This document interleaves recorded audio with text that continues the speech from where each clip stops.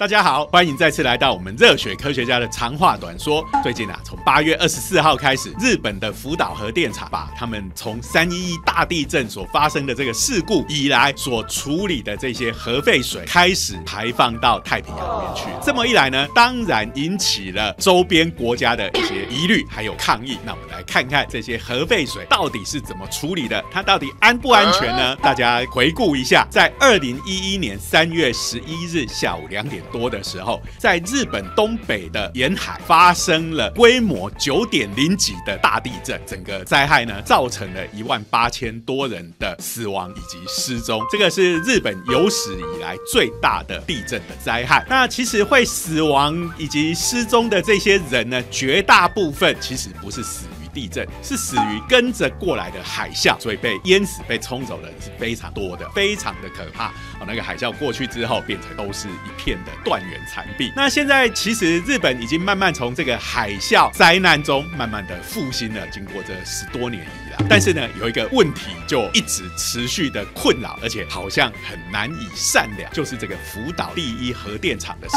故。那由于这个地震跟海啸呢，直接冲击了福岛的第一核。电电厂造成它各种系统的失灵，特别是对于反应炉的控制，整个报销了。反应炉失去了控制，就不断温度的升高，最后造成了炉心熔毁的事件，大概就是核电厂会发生的最严重的事故。为了要让这个事故平息，首先第一个最重要的事情就是要让反应炉降温，让核分裂的反应停止。由于正常的这些控制的设备已经都完全失灵了，所以只好使出这种最暴力的方法，就是直接把海水引进去，整个灌进反应炉里面。可是这么一来呢，反应炉里面有很多的核废料是从它的燃料铀二三五经过核分裂之后，就变成各式各样的放射性的原子核。那水一进去之后，哎，这些放射性物质就全部跑到这些水里面了，也就是我们最近所碰到的这个所谓的福岛核电厂，它把这些核废水排出去的问题的根源就是在这。核电厂要把这些水排出去，并不是说排就排哈，因为它里面有很多辐射性很高的污染物，直接排出去，势必一定造成对环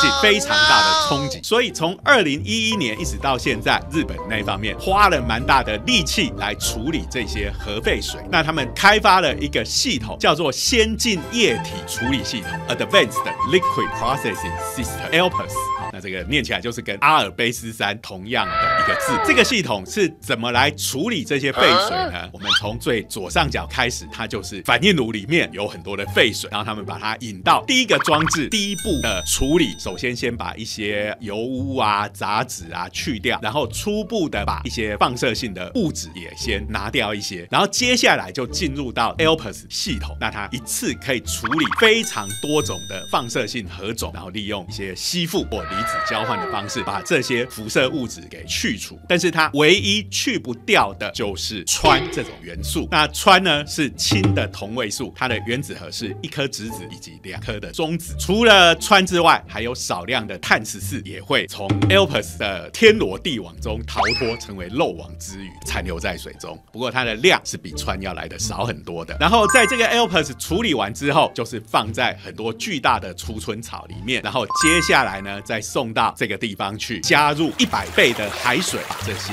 处理过的，他们日本官方正式的名字叫做 ALPS 处理水，所以已经是大部分的放射性核种都已经除掉了，主要是剩下氚这些废水再稀释一百倍，最后就是前面几天发生的事情，就把它排到大海里面去了。那这个时候呢，这些 ALPS 处理水里面的氚的辐射剂量是每公升一千五百贝克勒，贝克勒是一种辐射剂量。的单位，它的意思就是说，我这些放射性物质要是每秒钟发生一次的衰变的话，这叫做一个贝克勒。世界卫生组织对于水中的氚，它的辐射剂量的规范是每公升一万贝克勒。所以福岛核电厂所排出来的这些含氚的 ALPS 处理水，它的氚的辐射剂量事实上是 WHO 的标准七分之一以下，所以事实上它是已经符合国际标准、国际原子能总署 IAEA 它也已经认证，他觉得这样子排放到海洋里面去是 OK 的。但是我们都知道，官方的数字这样讲，我们一般人疑虑是很难去除的。那这是一回事。我们今天这个节目主要是来看看，哎，他们整个这个处理的过程到底是怎么做的，大家就自己判断，你相不相信它是安全的。我们就从它的第一步的前处理来讲。那在灾难发生不久之后，他们就发现核废水是一个大问题，灌了那么多水去冷却原子炉，那这些水要怎么办呢？那所以就开始征求各方的专家跟厂商，看看有没有人能够处理这些核废水。一开始是由两家公司得标，一个是日本的 Toshiba 东芝，另外一个是美国的 Curio。那这两家公司呢，他们可以设计出一些仪器，让核废水里面在那样子的灾难的情况下，有很多泥沙啊、油污啊、各种的杂质，这个先做初步的过滤。那在这个过程中，他们也利用一些化学的方式，先排除了部分的丝以及色放射性的废料，但是还没有办法百分之百的去除。这两家公司所做的系统处理的产能有限，所 以后面还要更庞大的系统来做，也就是我们今天主要要讲 ALPS 这个系统。那 ALPS 是什么呢？它叫做 Advanced Liquid Processing System，英文是这样写，然后凑出了 ALPS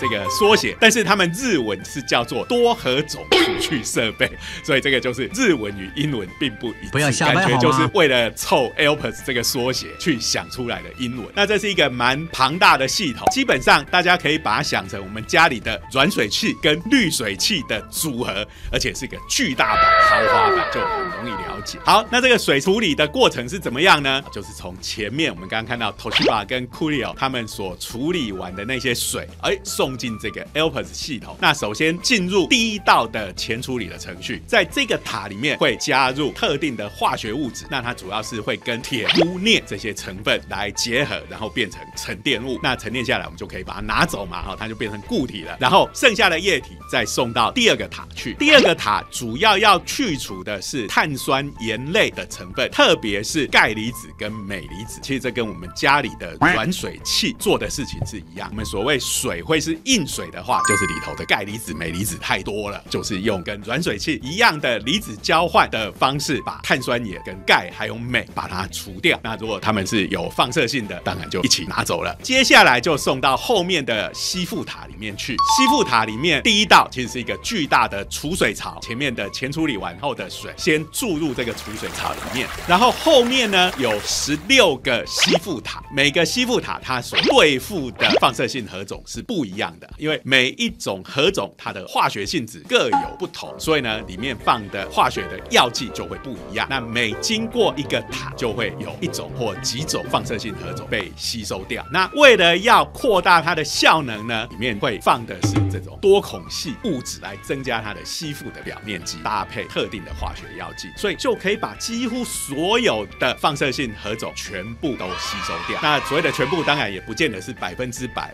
知道真实的世界是没有百分之百这种事情的，所以它其实是把它的浓度大幅的降低到国际原子能总署所能容许的范围面。比如说呢，他说十九十放射性元素进来到出去，它的浓度可以降低十万倍之多，那就可以符合国际原子能总署所定下的标准。基本上过了 ALPS 之后，这一些比较重的放射性核种就已经大部分都被除掉了，最后就只剩下那个氚。那氚呢，因为它是氢的同位素，所以它所有的化学性质都跟氢一模一样。不论用任何的化学物质，它只要能跟氚结合，它就能够跟氢结合。但是我们没有办法把所有的氢都除掉啊，因为氢是水的主要成分嘛。你把它全部除掉，就等于我整个水原封不动把它弄掉啊！你要弄去哪里？我们就是要处理这些水，所以这个水里面有氚，这就是一件最麻烦的事情，它是弄不掉的。所以经过了 ALPS 的处理之后，它里面主要还剩下的放射性物质就是氚。福岛核电厂呢，他们就盖了一大堆这种的储存槽，每次 ALPS 处理完的水就放进这个储存槽里面，就放在那边。那你看一放放到现在已经放了十几年。那氚这种东西，它的半衰期呢，大概是十二年多。从三一发生到现在，也是差不多刚好十二年的时间。所以储存的过程中，其实氚的含量差不多就已经自动。减半。但是呢，这个东西